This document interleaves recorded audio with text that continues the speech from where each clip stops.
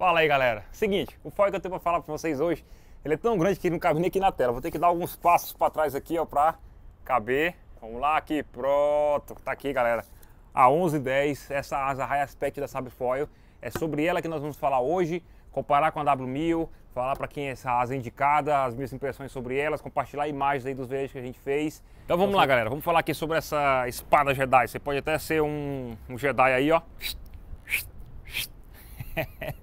com essa espada aqui, porque a bicha é, é, é, é larga, tem aqui um metro e 11 centímetros, sou um metro, é um metro e 11. Eu sou meio ruim de, de matemática, mas acho que é isso mesmo que ela tem aqui. São 1010 milímetros de span. Né? O que é o span? É a medida aqui de ponta a ponta e o que torna ela uma asa high aspect e ela tem uma relação de aspecto de 10.4, né, que comparado aqui com a nossa W1000, que a W1000 tem 10.1. Também é uma asa bem high aspect, mas não tanto quanto aqui a 1110, né, vocês conseguem ver bem aí a diferença entre uma e a outra, né?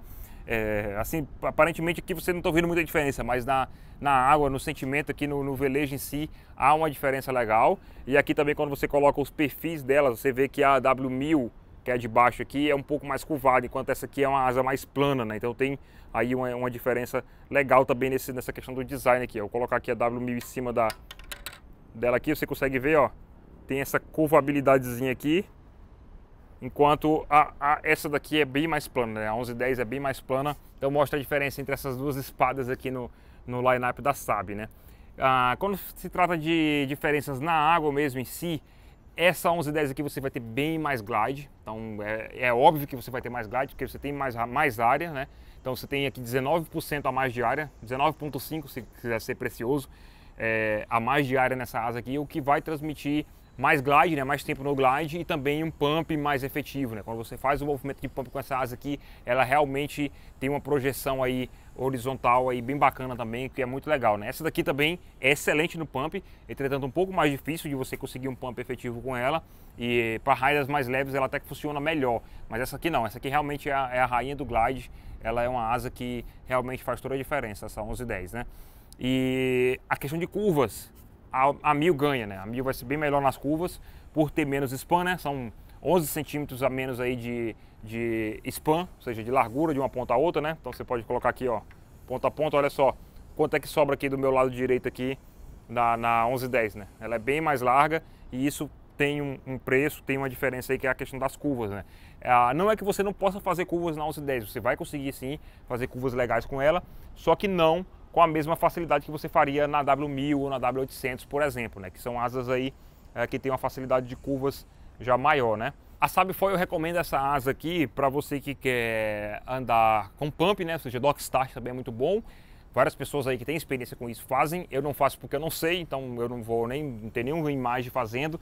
Mas a Sabfoil recomenda para isso e ela realmente é uma asa que vai performar legal para dock start por ter um pump muito bom, um pump muito efetivo e um pump leve, né? Você pode até pensar, por exemplo, ah, a 1100, por exemplo, que é uma asa bem maior, né, com 2.100 centímetros quadrados de área, teria um pump melhor que ela. Não, não tem, é muito mais pesado, cansa muito mais a perna e não é tão efetivo e tão preciso quanto essa daqui. Muito mais fácil fazer pump nessa asa aqui, né? Então ela é muito legal aí para start, para essa galera de, que quer, quer fazer isso aí, né? E pump também. Towing eu já não recomendaria, a Sabe Foil também não recomenda para towing, nem surf foil, porque ela tem muito spam, ela não, não fica tão, tão legal para isso, né? Mas para wing, race, pump e freeride você vai gostar demais. Se você é aquele cara que gosta de pegar a mínima marola lá no outside e vir até a beira com essa asa que você vai conseguir e você vai gostar demais. Eu tive várias viagens aí interestelares aí nos meus velejos com essa asa porque justamente ela tem essa característica de, de pump muito fácil para você conectar uma próxima onda que está perto, quanto também muito glide. Então se você entra numa onda e ela tá ali na, na, na, onda que tem o mínimo de energia possível, você vai andar até a beira, você vai até quando cansar. Tanto que eu, eu sempre fazia meus reels né, com, com, a, com a W1000, por exemplo, e às vezes eu tinha que colocar slow motion para poder o, o, vídeo completar um minuto ali eu ter mais tempo de glide, né? Porque às vezes eu não conseguia mais do que 30 segundos de glide. Enquanto que essa aqui eu consigo 2, 3 minutos fácil, fácil, fácil, fácil. E se você tiver experiência, você consegue ir até o infinito, né? Eu tenho o um amigo Carlos Firmeza, que ele vai participar desse vídeo também, vai trazer a opinião dele mais tarde aqui para vocês. Eu até publiquei um vídeo recente, que eu vou colocar aqui nos cards, vocês podem assistir depois e na descrição também Ele andou, eu filmei mais de 8 minutos ele andando sem parar com essa asa, sem utilizar o wing, somente conectando asas, claro, somente conectando ondulações. Né? Claro que os créditos não são todos da asa, os créditos são dele, porque ele está treinando bastante, está estudando bastante sobre downwind, tem bastante experiência com downwind, sabe conectar as ondas, sabe fazer uma leitura do mar ali para conseguir tirar o melhor proveito. Mas ele somando com o equipamento dessa qualidade aqui, desse padrão, ele fez miséria mesmo, né? então ele andou pra caramba e depois eu vou dar uma participação especial onde ele traz a opinião dele aqui para vocês, que eu gravei logo após ele ter testado, né? Se vocês quiserem assistir o vídeo, lá tá na íntegra, a gente não fez nenhum corte justamente para poder passar toda a ideia do que é um downwind sem utilizar o wing, né? Se alguém tivesse alguém ali para poder pegar o wing dele, ele podia largar aquele wing para trás e ele iria andar aí seus 5 km mais ou menos aí tranquilamente, é, sem utilizar o wing, porque ele ia usar só o glide dessa asa conectando ondulações. Então, para isso ela é fantástica também. É, então a asa muito massa com relação a, a isso para downwind. Com certeza se você estiver buscando aí essa asa aí que para downwind, né, para glide, para um passeio freeride legal, confortável, você vai gostar dessa asa. Ela é muito estável também, pessoal, muito estável mesmo. Então você, uma vez que está andando com ela, você não sente nenhum tipo de estabilidade. Inclusive a questão da, da, do respiro dela, por exemplo, dela respirar e se desestabilizar, ela não tem quase nada. Eu cheguei a, em um velejo um pedaço de plástico enganchou aqui nessa asa, né? Ficou preso aqui na ponta e estava dando arrasto.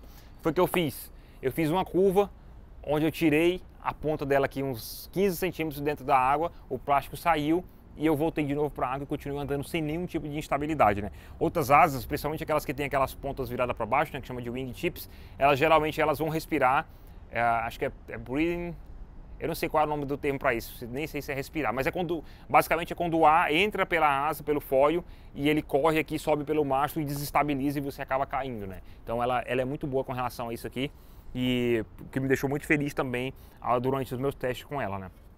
questão da construção dela. A construção é da Sabifoil, não é a construção mais rígida, a construção indestrutível aí que você pode tacar em cima de uma pedra e quem vai quebrar é a pedra. Não, se você tacar na pedra, quem vai quebrar é seu foil, pode ter certeza disso. Ele é muito fino, é muito frágil, é muito envernizado, é muito bonito, mas tudo isso eles fizeram para você ter o máximo de performance possível. Isso aqui é como se fosse uma gilete na água, sem arrasto nenhum, uma coisa mais suave, mais lisa, mais bacana possível aí de você andar. Agora, claro, você sabe que tem pedra no seu pico, você sabe que está raso, você não arrisca tanto que você não vai ter prejuízo, não vai quebrar. Isso aqui, se andar na água, não se acaba nunca. Só andando na água não se acaba nunca. Vai se acabar se você bater em pedra. E se você bater em pedra, porque você, às vezes é acidente, claro, mas muitas vezes é meio que irresponsabilidade, né? Então, eu considero a construção boa, entretanto, é uma construção frágil por conta da performance dela. Frágil que eu digo é tacar em pedra, tacar no chão. Andando na água, isso não vai quebrar nunca. Então, isso aqui é feito para ser usado da forma correta e com certeza vai durar bastante, né? Uma coisa que a galera de wing pode se perguntar é se você precisa de muito vento para andar com esse foil. E a minha resposta é que não. Ela tem um low end incrível, né? Eu consegui aí decolar ela com a minha prancha de 80 litros com 13 nós. Tinha 12, 13 nós ali, utilizando, claro, esse wing maravilhoso aqui, que é o Asp V2 tamanho 6, né? Que tem um power legal para o meu tamanho. Eu tenho 84 quilos, então eu preciso de power, né? Então eu não vou conseguir andar com, com wing menor nesses ventos mais marginais. Mas o low end dela é incrível. Comparado aqui com a nossa amiga Mil, a Mil, mesmo com esse wing 6 maravilhoso aqui da Ozone, eu preciso de pelo menos 15 nós para estar tá decolando confortável nessa asa aqui. Enquanto essa aqui com 13 nós eu decolei confortavelmente, possivelmente eu decolo até com 10, com um pouco de esforço e pump e técnica, né? Então é, ela tem um low end muito legal e o high end, o top end, ou seja, a velocidade máxima de vento que eu posso usar ela, eu não cheguei a testar ainda nada mais do que 20 nós, mas em 20 nós ela fica super confortável. O que, que acontece? Quando o vento está muito forte, principalmente se você estiver utilizando um wing grande, se você tem uma asa que tem muito arrasto, você fica com o wing muito mais pesado na sua mão. É como se você estivesse correndo, arrastando aquelas bolas de presidiário que a gente via nos filmes americanos. Pronto, é mais ou menos isso. Enquanto que isso aqui, como é uma, é uma gilete na água, ela corta muito liso, então reduz muito o arrasto e, consequentemente, reduz o peso na sua mão. E você estando utilizando, por exemplo, um Wing 6 desse aqui, mesmo com 20 nós, você vai estar tá over, claro, mas você não vai estar tá tão cansado quanto você estaria se você tivesse com a asa aí gordona, muito grande, muito pesada, com muito arrasto, né? Que não é o caso dessa, dessa asa aqui. Então, é, é isso. E agora eu vou passar a palavra para o meu amigo Carlos Firmeza, né? Que a gente testou ela junto lá no Cumbuca, eu fiz algumas imagens dele de drone, algumas imagens aí com o Wing também. E vocês vão vendo aí a opinião dele, enquanto eu vou mostrando também algumas imagens aí do Downwind que ele fez com essa asa também, W1110. Então vamos lá. Fala aí, Firmeza. Cara... Show de bola? Foi o que tu achou do foil aí? Foi o downwind mais confortável que eu já fiz, viu? Marquei no relógio 4 km descendo. E filmado, hein? Eu já tinha treinado com a mil, né? já estava fazendo downwind direto com a mil, mas quando eu usei essa aqui eu vi que ela tem um lift muito maior do que a mil. Você consegue se manter no glide mais confortável entre uma ondulação e outra. Quando ela passa, você consegue chegar na de trás com muita facilidade no pump. O pump dela é com a mesma velocidade da mil, só que você sente mais o lift do pump. Então é mais confortável. Irado. Não cansei nada, consegui descer. As ondulações também hoje ajudaram, estavam ondulações boas. Mas tava rolando mesmo, né? Tava, tava levantando o mar, cara. E, e dava para conectar e, e dava para cavar para os dois lados. Conseguia fazer curvas, só que curva mais aberta. Essa foi a grande diferença que eu vi para mil também. Porque a mil você consegue, mesmo que ela tenha o, o span dela de um metro, você consegue fazer curvas nela. Sim, então tu acha que, que as Essa curvas que não, é, não é tão boa, né? um pouco eu precisei acostumar, porque tipo assim, não é inclinar, jogar o, a pressão na ponta do dedo que ela vai. Não, você tem que sentir a asa, ver é, como que ela se comporta na curva. Não é tão automático como um 800 ou um 1000, por exemplo. Tu acha que quem é o, a, a pessoa que está o tipo de, de, cliente, por exemplo, que gostaria de comprar essa asa? Quem é a pessoa ideal para ele? O cara eu. que está buscando o quê? Acho que eu. cara, é o cara que quer fazer o downwind de wing confortável, sem cansar. A 1000 ela é interessante, mas ela ainda precisa de um, uma pressãozinha do wing de vez em quando. Essa daqui você pode esquecer o wing, você consegue descer de uma forma confortável, um downwind mais longo. É, eu filmei no drone aí, não vai caber no vídeo porque enfim, não dá pra gente colocar, eu mas... o drone foi embora, eu continuei, hein? Irado. Tentar extrair o máximo dessas asas aí que eu acho que tem potencial, viu? Massa. Valeu. Sim, valeu. Valeu, firmeza aí pela participação. Então, voltando aqui agora, galera, é, eu vou fazer uma pergunta aqui que eu vou deixar a resposta para vocês, né? Se vale a pena ter essas duas asas no Kiver ou se é o ideal é você ter uma delas, né? E na minha opinião, você pode ter as duas se você tiver o orçamento para isso, né? Tanto a 1000 quanto a 1110 são asas excelentes, que pode haver um diferencial entre elas, né? Principalmente se a onda tiver um pouquinho maior, você vai de 1000, se o vento estiver um pouquinho mais forte, você pode ir de 1000, mas também não é nada que você não possa fazer com essa daqui.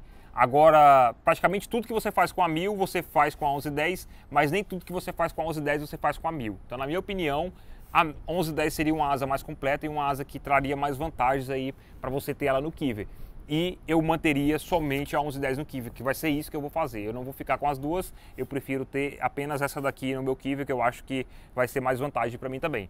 E galera, era isso. Ah, queria compartilhar com vocês ainda mais uma novidade ainda, que é a nossa parceria com a Ozone Brasil, né? Então, nós estamos com a parceria com a Ozone Brasil, onde está lá na loja no meu site todos os equipamentos da Ozone, você pode ter acesso, inclusive aos valores de um wing maravilhoso como esse aqui, como o ASP, que eu utilizo, e com um preço super legal, equipamentos premium mesmo, eu fiquei muito surpreso com o equipamento da Ozone, cheguei a usar, por exemplo, agora estou testando o Enduro, né, que é um kite deles que nem é para light wind, eu cheguei a velejar com ele com 7 nós, vocês podem ver aí agora essas imagens aí que a gente fez, ó. o velejo realmente deu certo com esse kite, e todos eles estão com preço muito especial, e você pode comprar diretamente com o distribuidor oficial da Ozone no Brasil, que é o Graziano, nosso parceiro, que inclusive também é representante da Sábio Foil, que nos mandou gentilmente essas asas aqui para a gente testar.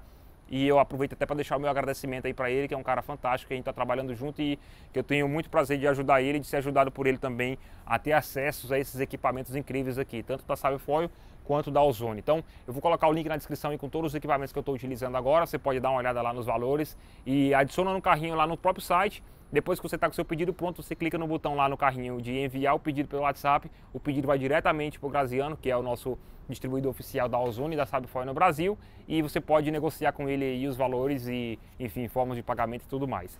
Então, galera, era isso o recado, né? Clique aí no link da loja também. E a gente se vê em breve aí no próximo vídeo. Espero que vocês tenham gostado. Claro, deixa aquele joinha aí para ajudar o canal e comentem as suas opiniões. Se você quer usar essa asa também, você pode falar com o Graziano, de repente a gente agiliza aí um teste para você fazer o teste dela.